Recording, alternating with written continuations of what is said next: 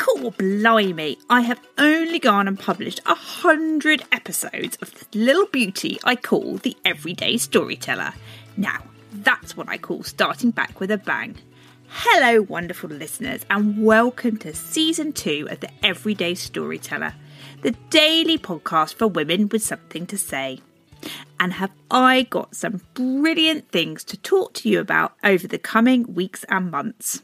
From mind blowing chemicals to make sure no one forgets you, to juicy, juicy tips on giving your stories a glow up, and even the return of my storytelling masterclass. A whole week of episodes dedicated to helping you take what you've been learning from the theoretical podcast to the practical with a super easy structure and tons of friendly guidance to get you writing and telling brilliant stories.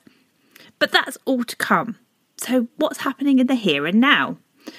Since launching the show in November 2022, I've had lots of people asking me what it's like to run a podcast, in particular, what it's like to run a daily show. So I thought I would share some of the highs and lows with you. I'm not going to sugarcoat it, it is hard work. A relentless hamster wheel of scripts, edits, show notes, and promotion. There are weeks when the thought of shifting all of my clothes out of the wardrobe is enough to make me pack it all in for good.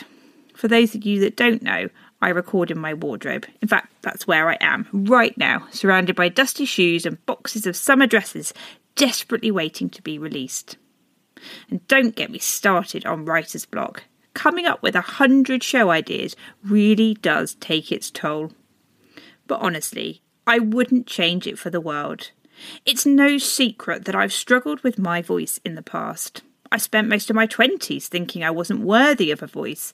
Come my 30s, I thought I had nailed it, but it turns out no.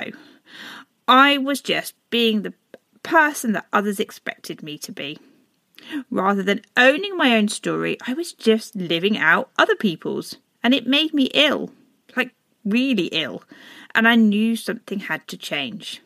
Now, as I stare 43 firmly in the eyes, not only am I telling my own story and using my voice, the real one, I'm also helping other women to do the same. And this makes all the long hours creating this show and getting the word out there about it 100% worth it. So, what's my key takeaway? If you want to do the thing, do the thing. If I'd really thought about how much was involved in this podcast, it may never have seen the light of day. But I didn't. All I cared about was how many women I could reach and help. How many brilliant women who are going through similar experiences to me. And why? Because this world needs more female voices. It's as simple as that. And what keeps me going? Well, it's you, my fabulous listeners who have made me part of your daily routine the wonderful feedback that you share about how you tried something new, inspired by this show, and the generosity I see in the podcasting community to welcoming in a newbie like me and making me feel like I'm in a place where I truly belong. Cheers to the next 100 shows, and thanks again for your wonderful support.